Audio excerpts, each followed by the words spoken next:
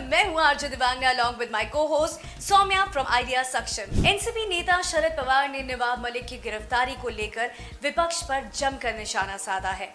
उन्होंने कहा कि महाराष्ट्र सरकार ने मंत्री और वरिष्ठ एनसीपी नेता की गिरफ्तारी राजनीति से प्रेरित है।